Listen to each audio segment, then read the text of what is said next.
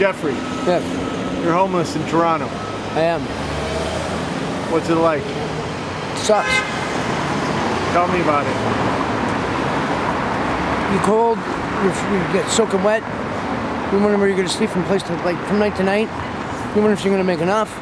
The one thing you don't have to worry about is food though. When you're homeless here, like they feed you pretty good out here. When you're panhandling, even though you're asking for money, they come down and they just give you food. Food over and over. I've never gone hungry. Oh my gosh. Never once have I gotten hungry. Oh wow. I've been freezing cold and soaking wet. Never hungry. But uh, housing is what you need. Oh fuck, in a big way. Oh my gosh. So, uh, big way. There's, there's just not enough. I don't think, or, or there's not enough people doing enough for it. and so where'd you sleep last night? You're looking at it. Oh my gosh. It's horrible. I didn't actually sleep last night. I panhandled all night.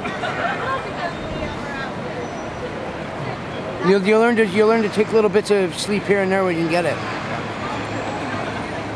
It's not safe out here. Well, not not completely. So, um, how long have you been out here? This time since February. I've been homeless before. And I've always managed to pull myself through.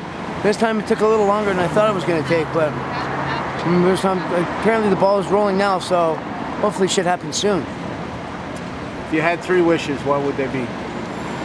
There, there'd be no homeless for anybody. And there'd be plenty of housing. And just basically, in general, nobody would ever have to live a life like this. Well, thank you very much for talking to me. No problem. Hope this gets to somebody.